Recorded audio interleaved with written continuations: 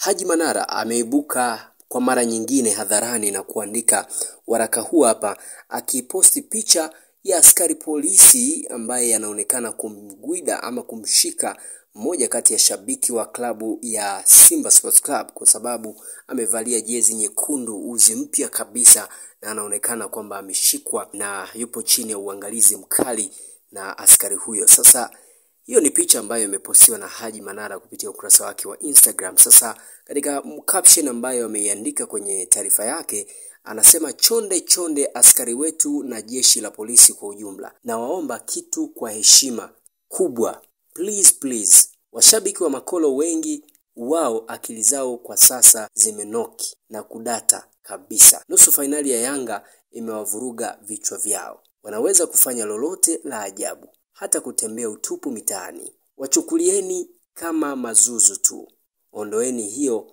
seriousness kwao. Mafanikio ya Yanga yamewavuruga, mtajaza selo zenu bila sababu. Wakikosea kipindi hiki, wapigeni mambata matatu matatu, kisha waachieni tu. Imagine huyu Kolo nimeambiwa kaenda kuiba spoku za pikipiki mbele ya kituo cha polisi. Kweli mzima huyu? Wachukulieni tu kama magedaheka fulani hivi cause nao ni watu hao. Haji Manara ameandika mkeka wake huu akiwa charura Simba Sports Club akiwaita makolo.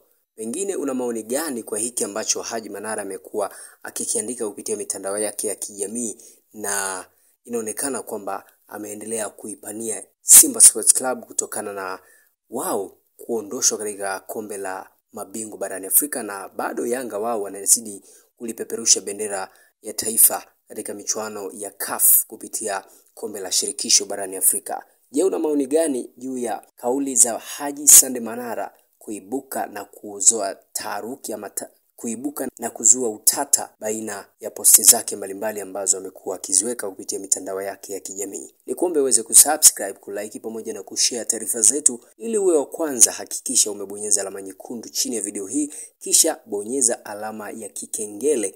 Hapo utakuwa pamoja nasi. Asante na nikutakia wakati mwema.